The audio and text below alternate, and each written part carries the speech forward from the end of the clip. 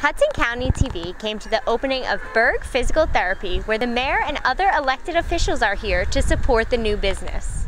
Um, I chose to open my business in Bayonne because I have been serving the Bayonne community for seven years and I've grown to really love this neighborhood. Uh, the people here in this area are exceptional and I really want to bring the quality of care back to the Bayonne community. And how do you feel today that your business is open? Oh, it's so exciting. It really is a dream come true. We then spoke with the mayor about how they encourage new business in the town. Uh,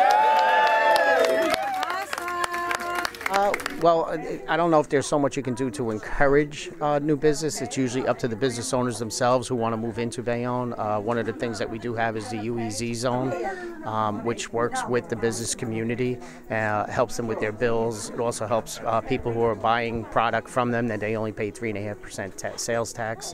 So the UEZ would work. Uh, you know, this is right here is a UEZ zone. In Bayonne, I'm Ashley Bruno for Hudson County TV, where we're committed to you.